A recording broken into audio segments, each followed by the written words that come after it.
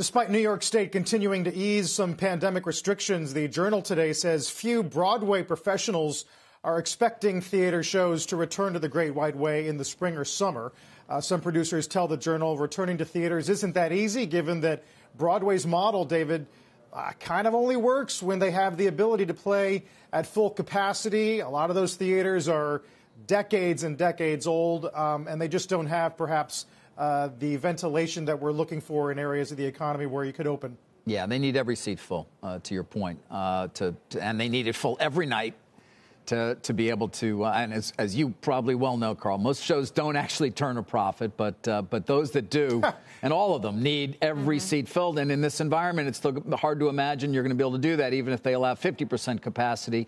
And then, Morgan, what people's readiness and willingness is going to be to, to pile into a, to, a, to an old theater without great ventilation. Maybe everybody will wear masks, but still remains unclear.